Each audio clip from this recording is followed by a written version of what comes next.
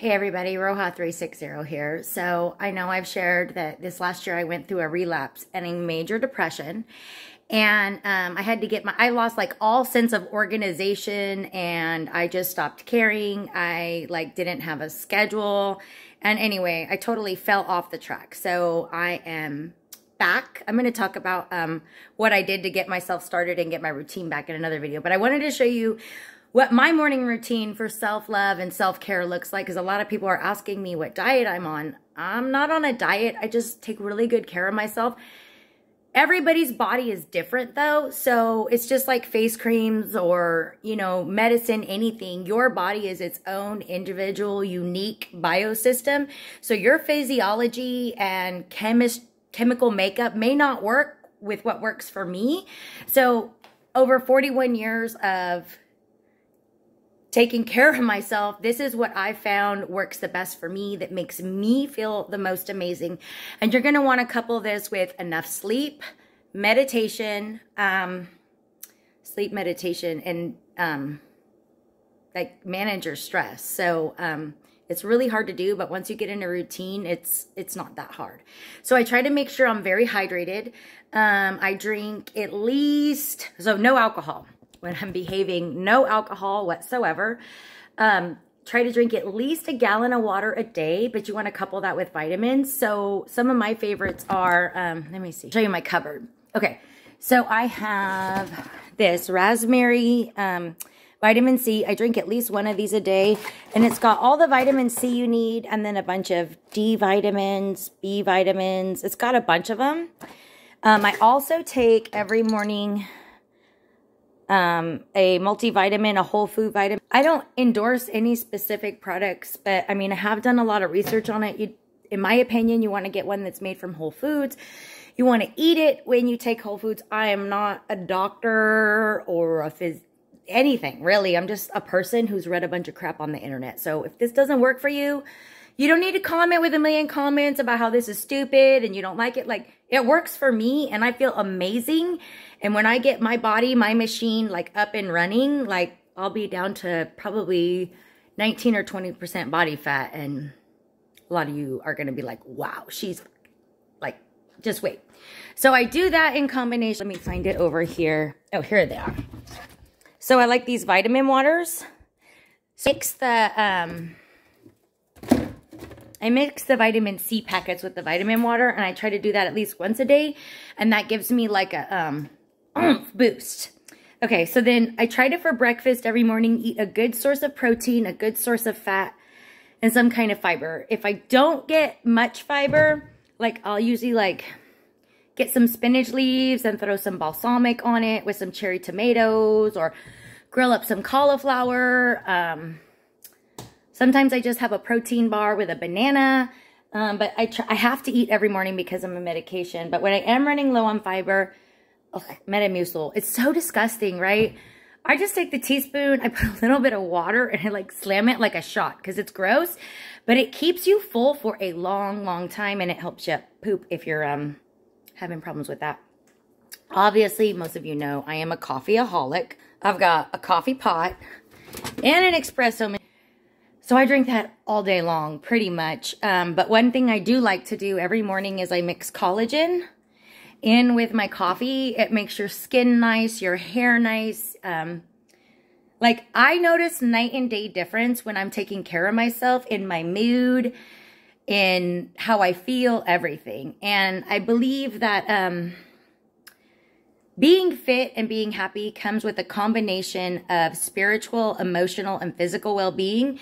And it does take a long time in a process. So if you're feeling like crap, you got to find a routine that works for you and stick with it. That's going to be the main thing. So in the morning, I like to drink the Starbucks Nitro and I mix it cold. Sometimes if I'm in a hurry, I need fat, I put MTC oil with the collagen.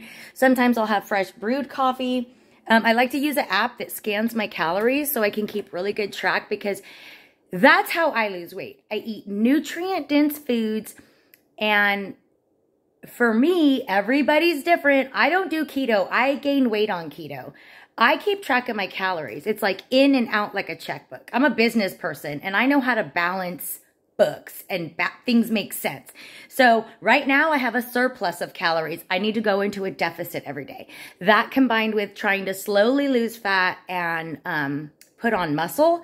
Now I have a lot of muscle, so I am not doing heavy weightlifting right now because I have a lot of muscle. And so I'm doing a lot, lot, lot of repetitions so that my weightlifting is almost cardiovascular. No, it is. I'm raising my heart rate at some of the weights I'm lifting to like 155.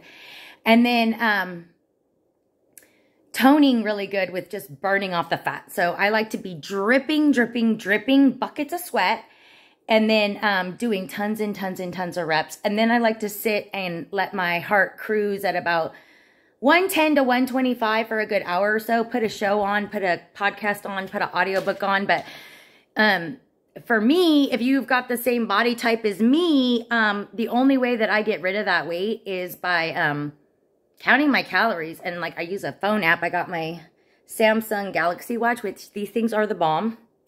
They are the bomb. They sync up to my phone and help me keep track of my calories. I used to have the Fitbit, but it I don't want to smash the Fitbit if you love the Fitbit, but um it doesn't work as well for me because it doesn't have all the other features the Samsung phone has. It's like a much smarter phone.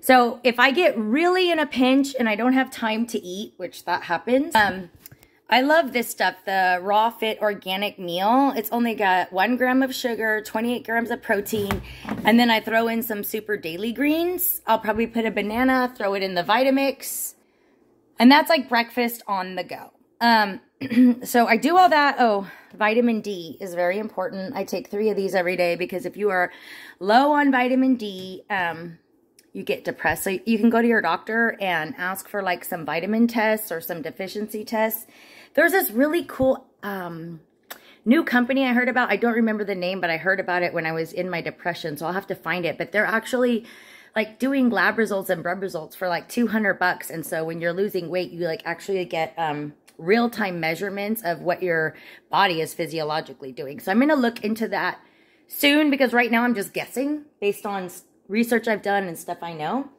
Um, I think I covered everything I do for the morning except, um, and I'm not embarrassed about this. If you need help, you need help. Um, I take uh, pharmaceutical drugs that both help me with depression and grief and then help me um, with cravings. So I take Effexor, 300 milligrams a day. It stimulates my prefrontal cortex. Note on this medication, I'll do a vlog on it. If you don't take it, uh, you are a crazy person the next day and for several days. If you take it and drink alcohol, you are loopy, like, um, think of like PMS on steroids. So if you are going to take Effexor, you need to have a routine. You need to eat every day on time.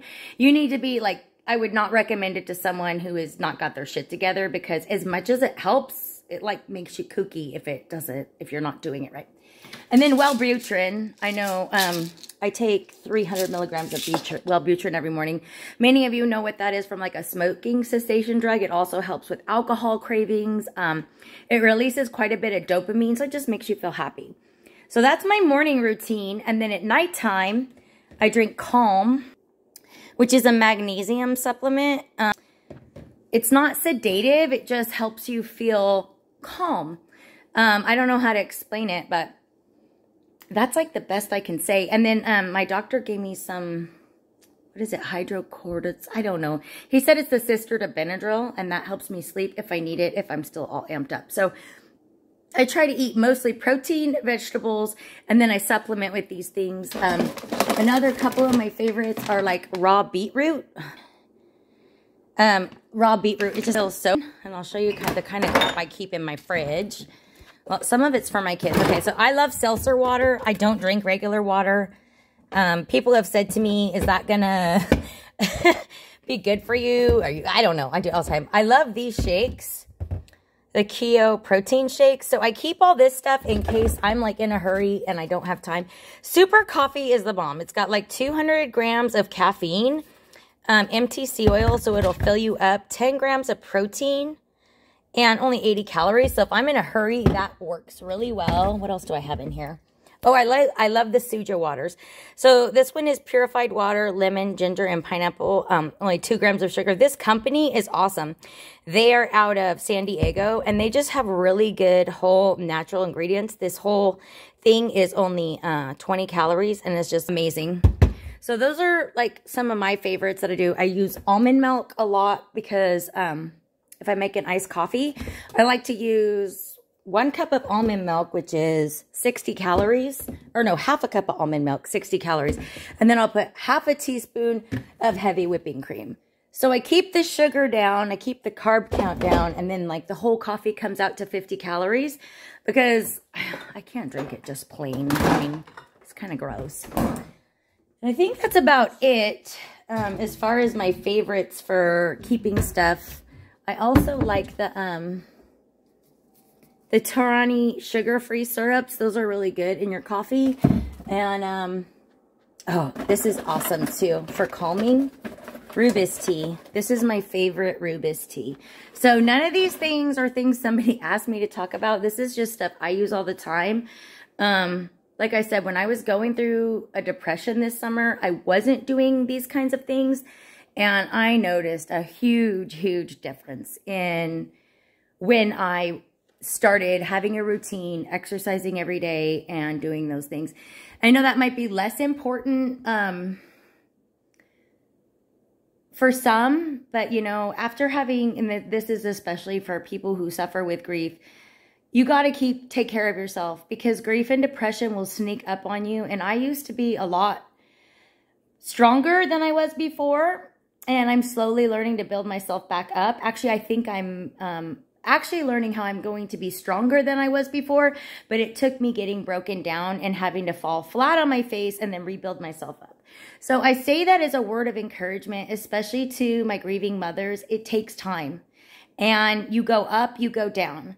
And um, the people that are there for you, um, a lot of them fall away because they just can't handle it.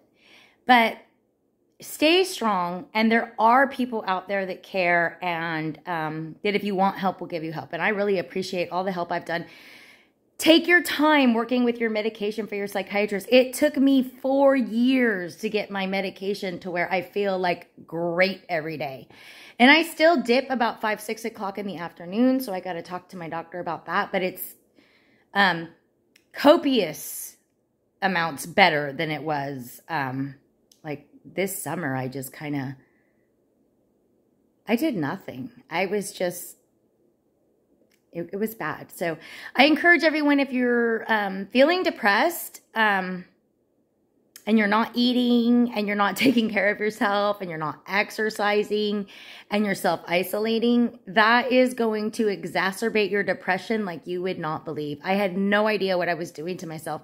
I thought I was being kind to myself by laying in bed and eating ice cream and taking naps and going easy on myself, but that just in the end caused a total um, emotional collapse. And so sometimes that's okay. Sometimes you have to fall down to get back up and be even stronger. Um, I hope these tips helped you, especially with like the vitamins and stuff. I don't recommend any of these specific products, but you should figure out what your body needs Play with it like chemistry and you will notice if you start to feel the difference. I hope everyone's well. This has gone on for quite a bit of time. If you have any questions, drop me a comment below. Or if you have something you want me to talk about, um, and I hope everyone um, has a great day. Roja360 at gmail.com. Take care, everybody. Bye.